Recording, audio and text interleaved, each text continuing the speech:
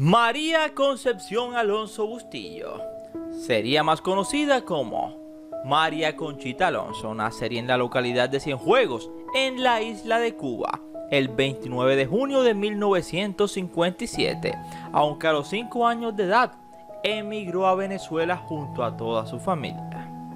A los 14, gracias a su prometedora y belleza latina, obtendría el título de Miss Teen Venezuela obteniendo más tarde en Lisboa, Portugal, la corona Miss Princesita del Mundo, representando a su país de adopción.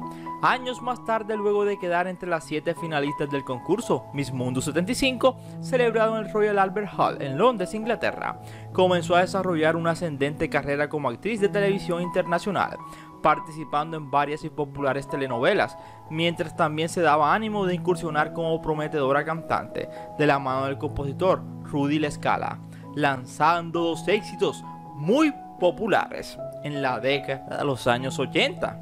En el año 1982, María Conchita Alonso decidió emigrar a Estados Unidos, particularmente a la ciudad de Los Ángeles, para concretar su gran sueño de conquistar a Hollywood.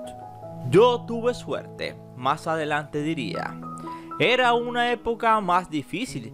Dejé a Hollywood diciendo lo voy a hacer pero no me puse plazos. Llegué como siempre hago en mi vida, a gozar, pero soy muy buena trabajadora y muy responsable. Me pasaba el día entero tomando clases de ballet, de jazz, de actuación con Lee Strandberg. Iba a audiciones y tuve la suerte de que una actriz inglesa, novia de un amigo mío, me presentó a quien se convertiría en mi representante y todo me empezó a salir bien. Así que si tú quieres saber más de esta hermosa mujer que actualmente vive sola, pues nunca se casó, nunca puso un pie en el altar, te invito a que te sientes, a que te relajes y que disfrutes del siguiente video. Y una vez más, gracias por preferirnos. Recuerda que cada día somos más y que tú eres nuestra estrella. Mis estrellas. Y no se les olvide suscribirse, compartir y darle like. Y gracias.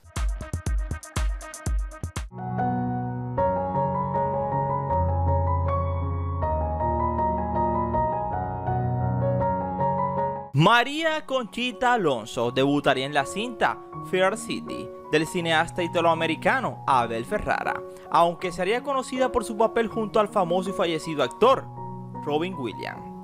En la película Moscú the Hudson, conocida en Latinoamérica como Moscú en Nueva York, llamando la atención de muchos productores y ejecutivos del mundo del cine. La actriz cubana-venezolana participaría posteriormente en cintas como El Gran Enredo, dirigida por Black Edward, ganando aún más popularidad tras participar en la cinta de ciencia ficción The Running Man, junto al célebre Arnold Schwarzenegger, una de las más grandes estrellas del cine de acción de los años 80. En el año 1988, María Conchita Alonso sería convocada por el director Dennis Hopper para participar en la cinta Colors, conocida también como Vigilantes de la Calle, junto a los actores Sean Penn y Robert Duvall.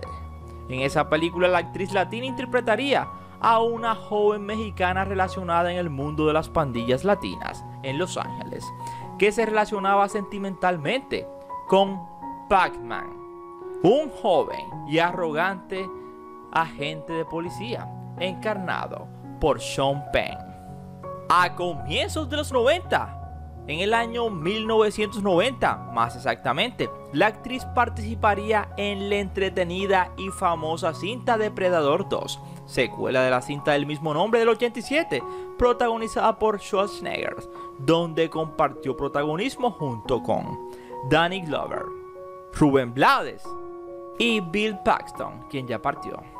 Con respecto a esta cinta, María Conchita Alonso recordaría que se divirtió mucho haciendo dicha película. Hoy en día hay un roce extremadamente fuerte entre Danny Glover y yo. Él había apoyado a un expresidente de Venezuela, Chávez, desde el principio porque le iba bien. En ese momento cuando hicimos la cinta éramos muy amigos, pero él después entonces apoyaría a dicho presidente. Entonces, la amistad se resquebrajó, pues ella nunca apoyó a dicho presidente de Venezuela que existió. Por aquellos años, María Conchita Alonso seguiría participando activamente en el cine con cintas como Texas, Vampires Kids y La Casa de los Espíritus, basada en el libro homónimo de la escritora Isabel Allende. Además de participar en el programa televisivo I'm Celebrity, Get Me Out on.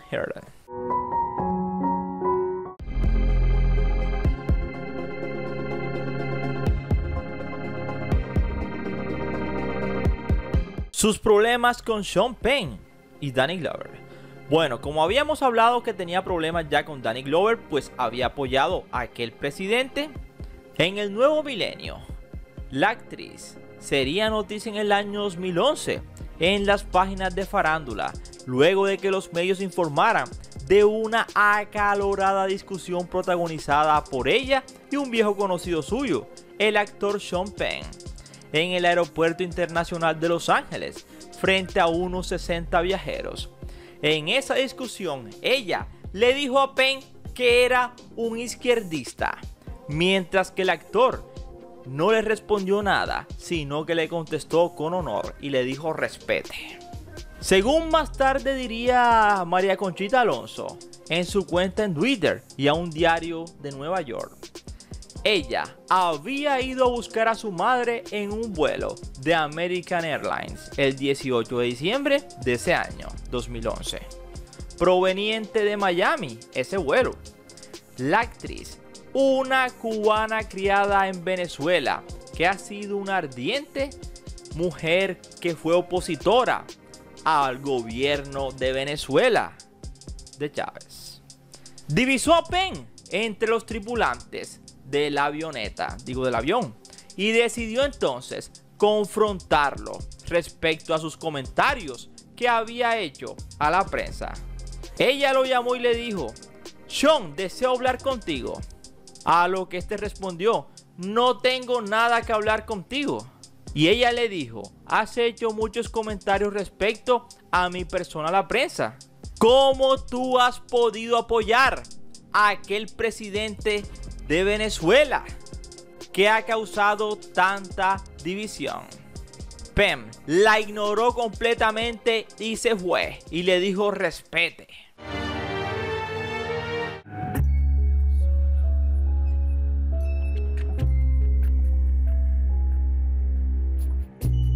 María Conchita Alonso se mantiene trabajando. Sigue ligada al cine y televisión, siendo su última película una comedia que se estrenó en el año 2019. María Conchita Alonso, quien actualmente tiene más de 62 años, además de su labor en el mundo del cine y la música, donde llegó a ser nominada a un premio Grammy, también sigue ligada a la música y a la actuación, y también se ha destacado por su trabajo en pos de muchos grupos de protección animal alrededor del mundo. Actualmente reside en el sur de California, donde vive sola pues pese a su legendaria belleza y que tuvo varias relaciones sentimentales en su vida, jamás llegó a pisar el altar. Ella diría, he estado comprometida cinco veces, pero nunca me he casado. No sé cómo hay gente que puede estar en relaciones que duran tantos años. La más larga que ella ha tenido han sido siete años. Y fue fuerte, dijo ella. Quizás se case algún día, antes de cumplir los 70 años. Eso lo decía ella a los 60, pero ya pasó el tiempo. De todos modos, no es algo que tenga que hacer antes de irse al otro mundo, dijo ella. Mientras más espera, más posibilidades habrá de que el asunto funcione. Pero al parecer, ella tiene una pareja y se queda calladita. Sé que en la distancia aprenderé a vivir sin ti y tu voz me arrullará hasta que estés aquí, porque nuestro amor sobrevivirá. Me recordarás y sonreirás por mí. Y esperamos que les haya gustado este interesante video, no sin antes decirles gracias por preferirnos. Recuerda que cada día somos más y que tú eres nuestra estrella, mis estrellas. Y no se les olvide compartir, suscribirse y darle like. Y gracias.